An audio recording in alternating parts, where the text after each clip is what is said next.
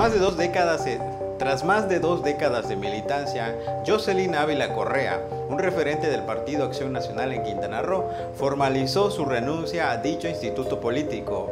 En una carta dirigida al presidente del Comité Municipal del PAN de Lázaro Cárdenas, Emilio Tzulpuk, con el argumento que el partido ha perdido el rumbo de los ideales.